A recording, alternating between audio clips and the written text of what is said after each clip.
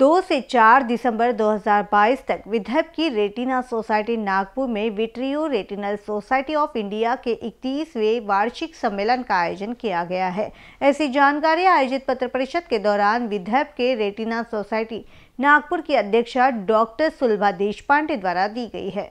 Vitreo retinal society of India, retina और vitreous रोगों में सुपर स्पेशलिस्ट से संबंधित सुपर स्पेशलाइज संगठन है। इस सोसाइटी का गठन वर्ष उन्नीस में 20 विट्रो रेटिनल सर्जनों के एक छोटे समूह के साथ किया गया था, जो अब पूरे भारत में 1500 आजीवन सदस्य तक पहुँच चुका है। वर्तमान शासी निकाय के अध्यक्ष डॉक्टर एन एस मुरलीधर, सचिव डॉक्टर मनीषा अग्रवाल और अध्यक्ष वैज्ञानिक समिति डॉक्टर महेश षणमुगम है। विदर्भ की रेटिना सोसाइटी इस वर्ष vitreo retinal society of India के इकतीसवे वार्षिक सम्मेलन का आयोजन अध्यक्ष डॉक्टर सुलभा देश सचिव डॉक्टर प्रशांत बावनकुले, अध्यक्ष वैज्ञानिक और व्यापार समिति डॉक्टर आनंद पांगारकर, सह अध्यक्ष वैज्ञानिक और व्यापार समिति डॉक्टर अजय अम्बाड़े अध्यक्ष स्वागत एवं आतिथ्य समिति डॉक्टर प्रशांत अग्निहोत्री, सह अध्यक्ष स्वागत एवं आतिथ्य समिति डॉक्टर राजेंद्र विश्वकर्मा, कोषाध्यक्ष डॉक्टर शशांक विदय संयुक्त सचिव कोषाध्यक्ष अध्यक्ष डॉक्टर राहुल तिवारी और डॉक्टर शमीक आम्बटकर संयुक्त सचिव डॉक्टर शामिक मुकादम,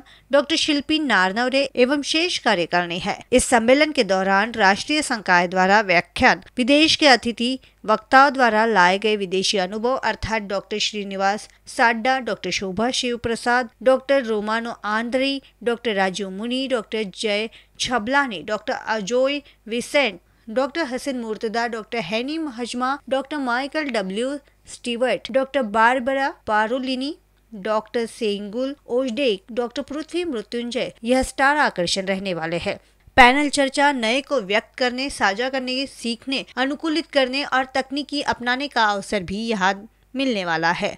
ऐसी जानकारी आयोजित पत्र परिषद के दौरान दी गई।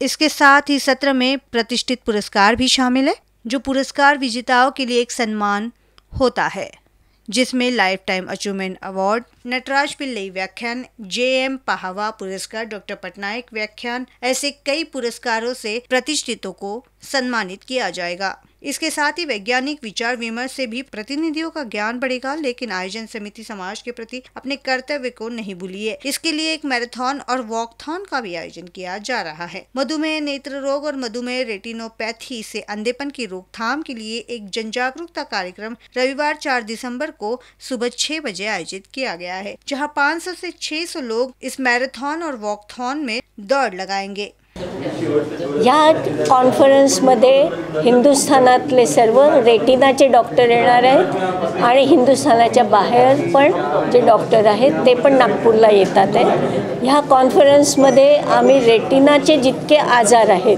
त्याच्यावर चर्चासत्र होणार आहेत डिस्कशन होणार आहेत आणि त्याचबरोबर लहानांपासून मोठ्यांपर्यंत सगळ्यांचं त्याच्यामध्ये पार्टिसिपेशन आहे. म्हणजे जे शिकतात आहे ज्यांना आम्ही पी जी स्टुडंट्स म्हणतो ज्यांना अजून रेटिनाचं पूर्ण ज्ञान पण नाही ते सुद्धा हे अटेंड करतील आणि त्यांचं ज्ञान वाढेल.